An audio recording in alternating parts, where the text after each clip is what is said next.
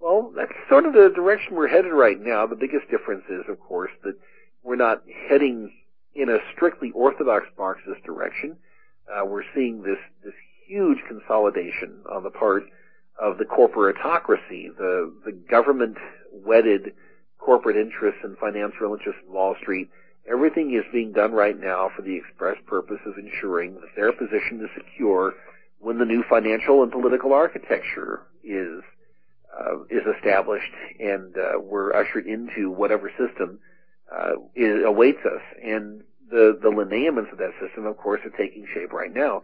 Uh, Mr. Kissinger uh, was sent to Moscow. If I'm not mistaken, he was sent to Moscow during the uh, the interregnum or the effective interregnum between the election and the inauguration at a time when Mr. Bush was a lame duck and Barack Obama was still merely the president-elect. Henry Kissinger was sent over there uh, to talk with uh, Putin and others about another nuclear arms control regime. And uh, anytime you're talking about nuclear arms reduction, eventually you're talking about building up some kind of a, of a mechanism, a supervisory mechanism through the United Nations to administer arms control or arms reduction. And the long range plan is to have either the United Nations or a successor organization. Hold that thought. We'll be back in just a moment here with all of our stations. Well, this is Dr. Stan. Our guest is William Grigg, and we're talking about what's going on financially. And of course, William was talking about Henry Kissinger going over to Moscow just a, a, a short period of time ago to talk about new arms, nuclear arms control. And of course, if you're going to have nuclear arms control, you have to have a supranational organization uh, who will regulate this. And of course, everything is going to be done by outside organizations regulating every aspect of what goes on here in the United States. That's what it's all about. Timothy Geithner talks about how we're going to have to have other organizations, of course, regulating our economy after all. But what's wrong with that? We already have a World Bank. We already have uh, certainly a World Police Force. We already have World Trade uh, uh, officials. You know, why shouldn't we have a financial regulators, but it's all about regulation. It's all about the New World Order. Before we go on, William, I'd like you to go ahead and get out your blog site. Tell people how they can get in touch with your material, and then we'll go ahead and proceed. Well, I really appreciate that. I have a blog site called Pro Libertate, which is a three to five times updated weblog that contains essays usually ranging anywhere from 900 words up to several thousand. Typically, they're between 1,200 and 1,800 words. And I say that by way of admonition, advisory to anybody who wants to go check it out because it is a longer form of essay than most bloggers generate. Most blogs are much more digestible. They're much more, to be blunt, reader friendly in terms of the length. I try to make the essays as reader friendly as possible. I try to keep the pace somewhat sprightly and try to avoid getting them bogged down in self-indulgent diction, but as a writer, every once in a while, I can't help myself but the essays are between 1200 and 1800 words, and they're illustrated. And I and I do my best using hyperlinks and videos and audios and, and other tools that are available in this wonderful digital age we're living in to document and authenticate what I'm saying, as well as making citations from works which are not yet available in digital form. The easy way to get to Pro Libertate is to go to my intro website which is called willgrigg.com. Once again, that's willgrigg.com. And to get to Pro Libertate, you look in the right-hand corner, basically the upper right-hand corner of that page. And at the top of the external links collection, you'll find Pro Libertate. And as well through either willgrigg.com or through Pro Libertate, it's possible to have access to uh, my book, my most recent book, is entitled Liberty in Eclipse, The War on Terror and the Rise of the Homeland Security State. It's available through Amazon.com. If you read to the end of any of the essays, there's a photograph of the cover of that book right next to a hyperlink that will take you to Amazon to order that book. It's been available as well through Radio Liberty, and I need to get on my associates down in uh, California, New Mexico to make sure to get another supply of that book to you to sell. We'd love to get some. Thank you. It's about 320 pages long, and it's meant to be at once an expose and sort of a clinical history of how we ended up with the police state we're living in right now. Now, a lot of people might dispute the assessment that we're living in a police state as opposed to heading toward a police state. I believe that we're living in a police state of relatively mild, uh, of a relatively mild character as, as far as such things go.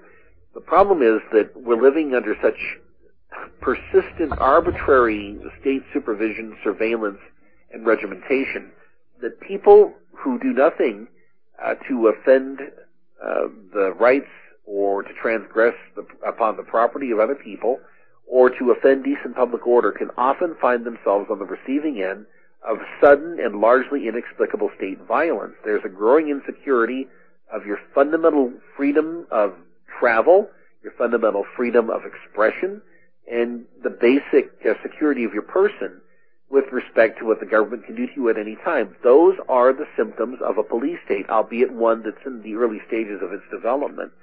And in the book I talk about how we got here, how likely, or how bad it's likely to get, and how we can take some steps back from where we are right now.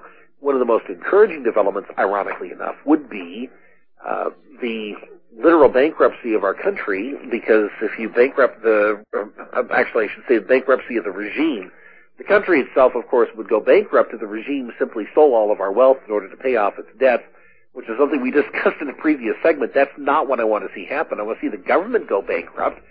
That would be a good thing in that it would give us an opportunity to rein in the government that's ruling us right now and to reboot it on constitutional principles that would be a really rough way to go about it, but it would certainly be better than having the government strong enough literally to confiscate all of the wealth of the country in the futile effort to pay back this astronomical debt that the government has managed to accrue.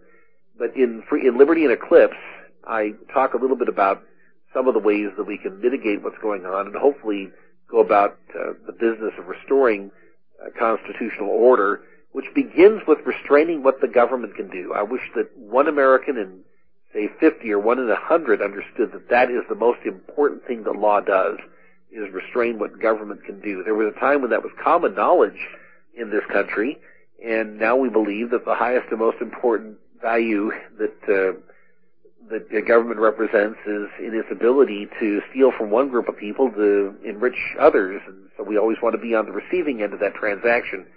Uh, that's what happens when you see a republic of a constitutional nature degenerate into a mass democracy, the sort we're living with right now.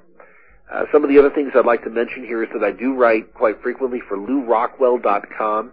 I mentioned Lew Rockwell in an earlier segment. Mr. Rockwell is the president of the Mises Institute.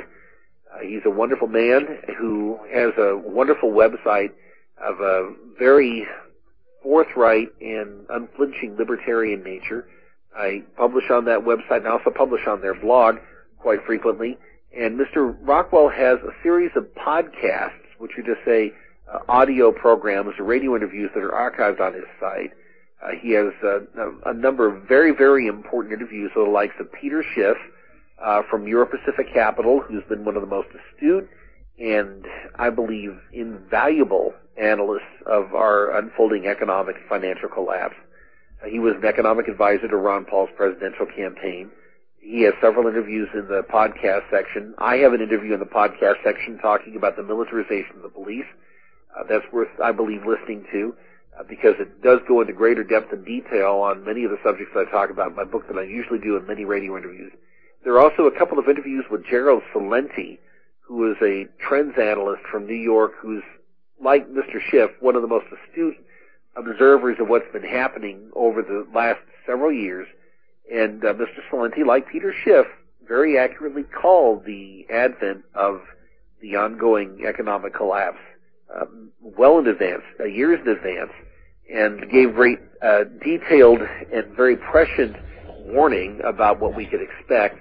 Uh, Mr. Celente, having uh, grown up in the Bronx and having gone through 9/11 and a number of other terrible terrible experiences of that sort, is very, very much of the opinion that Americans should be prepared right now for the likelihood of widespread civil unrest and the concomitant crackdown by government on personal liberty and financial liberty in this country. They need to be ready for that because that's going to become a reality very quickly, according to Mr. Celente. Given his track record, I think he's worth listening to. Once again, his interviews are archived at Lew Rockwell's website, which I think is a really good place to visit.